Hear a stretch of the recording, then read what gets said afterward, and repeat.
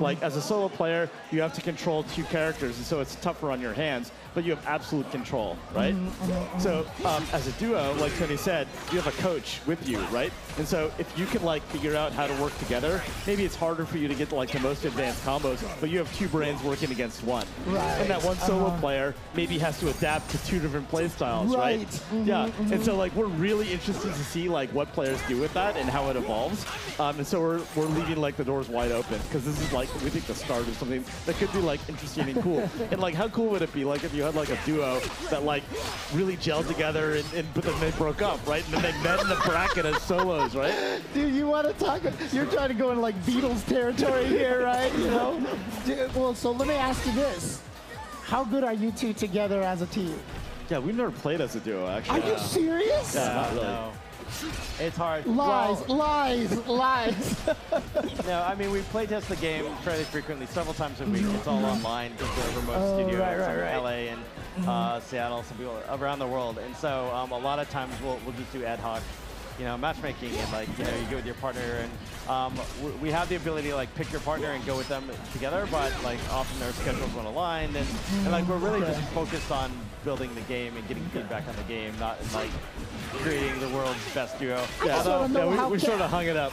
I just want to know if you two played together, would you be like really cooperative, or was it like Oh, it'd be a typical siblings? Yeah, It would be an exactly. absolute disaster. Yeah. Yeah, I don't think Exactly. that, yeah, nobody wants to see that. Oh man. Uh, but I mean, you know, in terms of just like fighting game philosophies, I mean, do you do you have any sort of specific philosophies? I mean, I talked about it with the other guys on the couch. You know, laugh. You remember brought up the idea of heart, body, and mind, and kind of things like that.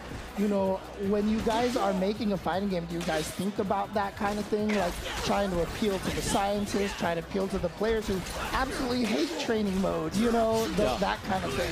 Yeah, we do, and um, you know um, that sort of you know heart, head, and hands like framework is something that that we think about a lot. Um, one that um, I like is um, you know just finding the fun, right? Yeah. Um, too often, like accessibility is seen as like a zero-sum game, where like if you want to make it like appeal to casuals, it it it un, it, it has to be worse for like the hardcore players. Right. And and that's true a lot of the times, but it's not always true, right? And so for L, we're looking for opportunities where like, what's fun for a new player? Like casual hardcore doesn't matter. Someone who's new to fighting games. What's fun, and how can you like get them into it and find that fun? Literally the first time they play the game, right? And if you can do that in a way where it doesn't hurt, or sometimes maybe even helps, like the hardcore player, those are the opportunities we look for, right? Um, yeah. Yeah, and ideally, it, it should be a smooth curve. Like, you don't want to, like, oh, this is fun for a new player. Oh, you want to play the game seriously now. You need to unlearn everything that you thought was fun and play the real game, right? It should be a smooth road of development where it's like, oh, this is fun. Oh, I learned something. Maybe I'll try that next time. And you're building mastery as you go, having fun the whole way. Yeah, that's that's the dream. It's very hard to get right. Oh, we know it's sure. hard to get right. We know everybody says this, but like like that's what we're chasing after. And that's what's great about being able to build this game at Riot is they really I mean this is obvious at this point because we've been working on this game forever.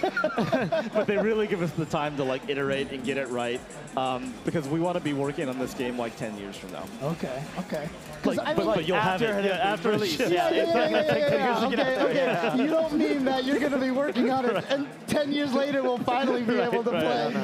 Yeah. But I mean, because I mean, that's obviously one of those things that's kind of like a misnomer in the FGC, right? Like to lower the entry level, you got to lower the ceiling kind of thing. But you could, I mean, I always cite Melee as a perfect example, right? It's one of those games that you can pick up and have fun, but it is just like one of the deepest fighting games out there, right? And and that's kind of the philosophy that you guys are going for here. Yeah, and that's one reason why like every character in the roster has like a big button, right? Or a button that gives you a really clear, obvious outcome. It's like I hit this button, this thing happens, cool, I got it.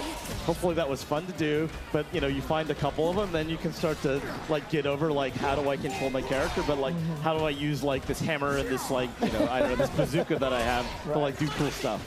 Nice.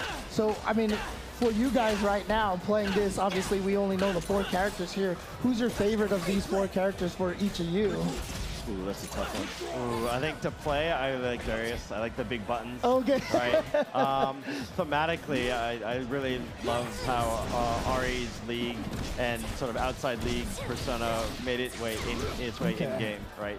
Yeah, yeah. Ahri, Ahri, I think is my favorite so far, um, just because like uh, the creative that work that went into realizing like a mage combat fantasy, where it's like.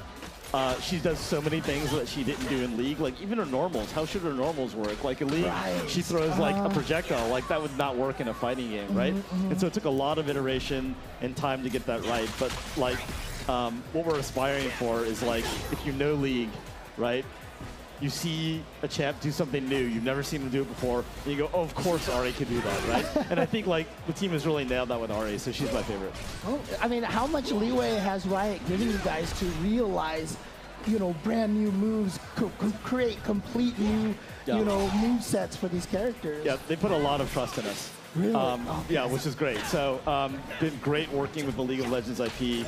There's so many awesome characters, and they're so varied and different. Like this is an IP with like robots and mages and big guys with axes and and like you know enchanters. It's like we can we can do anything with this IP, um, and to have like the trust of the company to just like you know go for it has been great. It's been a dream.